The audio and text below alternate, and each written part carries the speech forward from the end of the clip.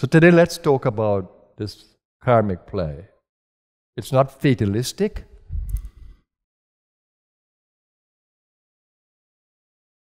It's not punitive that the universe wants to punish you.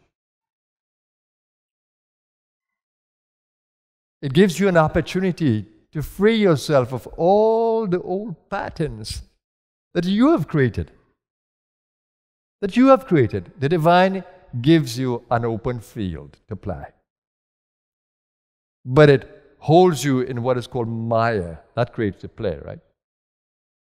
She creates an illusion that you have become diminished from the divine.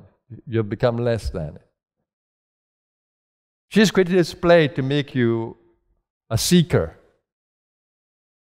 But you are her, in essence. But you have forgotten that. In this Mayic hold, this illusion, you think you are helpless. Oh, God, help me. But you're never helpless.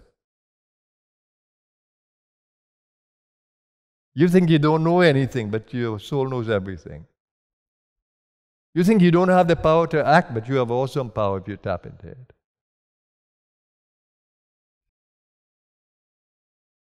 So the uncovering of the veil of Maya is required.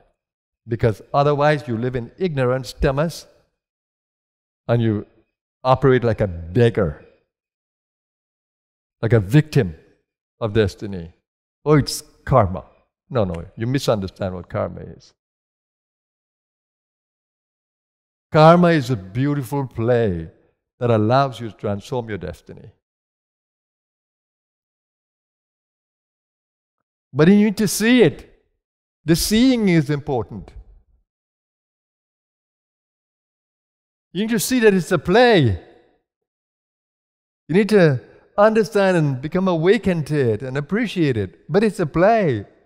You don't die. You don't die. You're not sick. The body may be challenged, but not you. Or you it shouldn't be you. You're not sick. You're not frail. You're not old.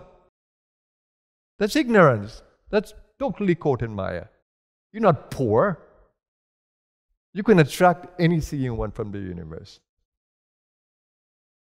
Anything you want. You own the universe, but you don't know that. you operate like a beggar, begging every day, Lord, give me this.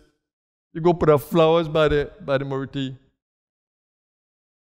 You're doing your beads or rosary or tasbih and just thinking that, that God will help you. You're not a beggar. You own it. But you need to come back to that consciousness that you that you own the universe. oh my God, what a play.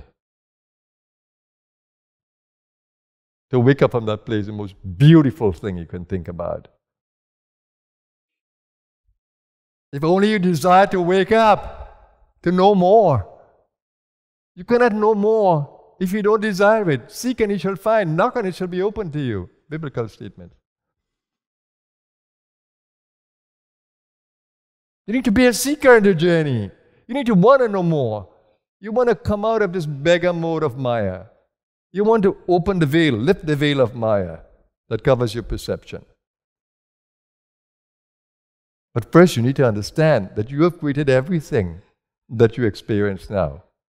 And you are seeing the universe through your level of consciousness. What is your level of consciousness? If you're in tamasic level of consciousness, that's how you see the world. If you're in rajasic level of consciousness, which is ego, that's how you see the world. And if you're in sattvic consciousness, that's how you see the world. And if you're beyond all three, wow, you have a transcendental vision. You have a beyond vision of the whole space. Do you want to stay in a tamasic mode or rajasic mode? This Dwapara Yuga that we're in is governed by tamas, ignorance, and rajas, ego. Look across the world and see. How many pure leaders do you see? How many pure business people do you see? How many pure saints do you see? How many? Few. so be careful of who leads you, who guides you, and who tells you how to pray.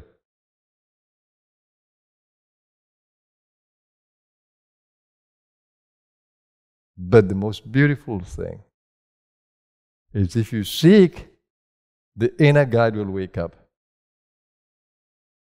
If you seek, the entire universe will support you and help you to wake up. And in a universe,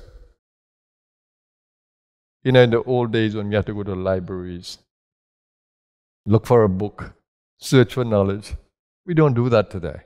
We take up a mobile phone and we can Google anything, and the whole library is right here. The whole universe can guide you. The person who is next to you can guide you. The broken relationship can guide you. The body challenge with illness can guide you. The neighbor who you think is ignorant can tell you something that is useful on the journey.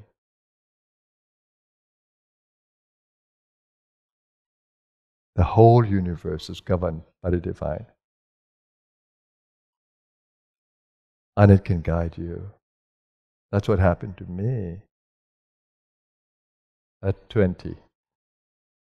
I began to look for the universe to guide me. And it absolutely did. But it's important to take responsibility for where you are now. Don't think that somebody led you there. The illness that you may experience, the broken relationship, the lack of abundance, it's all due to you. Look for where the limitation is inside of you and begin to remove it. And then life changes around you. Open the consciousness to see more, then life changes around you. As you begin to act from a higher consciousness, life changes around you. So you are the architect of your own destiny. You are the, the master of the play, but you need to know it. Don't blame anyone. Don't blame anyone. You can change from this moment, not tomorrow, not next week. This moment you can change. But you need to be the seeker. You need to want to change. You need to want to see more. You must be hungry. Because when you're hungry, you'll be fed.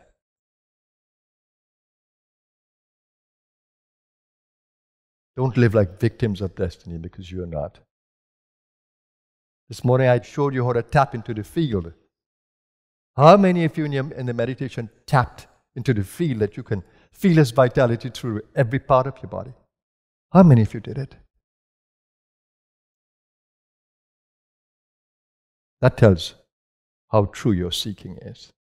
And when you leave here, do you continue the teachings? Does it wrap your mind that you want to continuously think about it till you solve it, till you find what you're looking for? Does it wrap your mind until you find it? That's the kind of seeker I've been. So you can change the whole game. Karma gives an opportunity for change.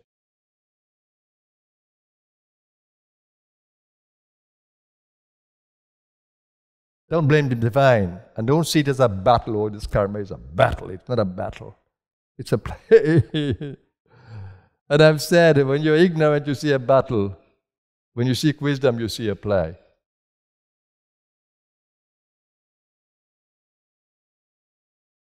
Ignorance leads you to battle. Wisdom holds you in a play. Be wise and play. Have a blessed day, everyone. Namaskar. Be wise and play.